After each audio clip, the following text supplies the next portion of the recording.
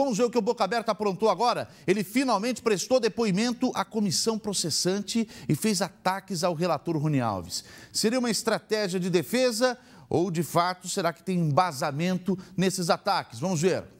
Foram mais de duas horas de depoimento, mas apenas 20 minutos dedicados à defesa propriamente dita do fato pelo qual Emerson Petriva está sendo acusado.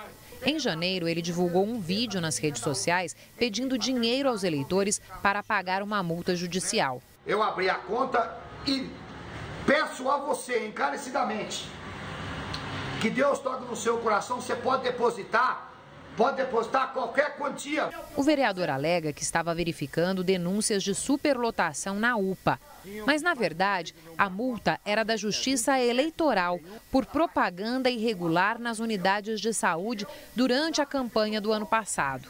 A acusação julga que esta é uma forma de estelionato e o processo na Câmara é por quebra de decoro. Eu fiquei com um real. Isso não é crime. Eu pedi, meu pai do céu, eu pedi. Eu não roubei nada de ninguém. Durante a maior parte do depoimento, Petrive e o advogado dele atacaram o relator Rony Alves, que foi acusado, entre outras coisas, de corrupção e nepotismo. O Rony Alves, que mantém no gabinete dele, comete o crime de nepotismo, que nós vamos entrar aqui na Câmara segunda-feira pedindo a cassação dele, mantém o marido dele no gabinete com mais alto salário. Com base no relatório da comissão, o mandato de Emerson Petrive poderá ser cassado a defesa pediu três vezes a suspeição de Rony Alves, mas os pedidos foram negados com base em uma decisão da Justiça.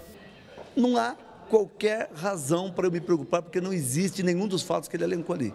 Agora, o vereador Emerson Petrive tem cinco dias para apresentar as alegações finais. Mas dia 9 de outubro também seria o fim do prazo para a entrega do relatório.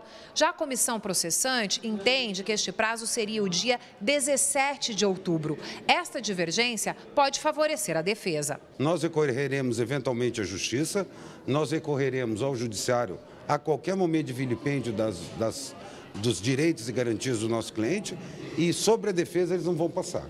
Felipe Prochet, que preside o processo, explica que houve mudanças na composição da comissão e por isso o prazo para a finalização dos trabalhos deve ser maior. Não mudou nada, a gente sempre trabalhou com a data do dia 17, do dia 17, que é onde é, foi destituído o vereador Jamil Janani e colocado o vereador Eduardo Tominaga. Então a gente trabalha com, esse, com essa data.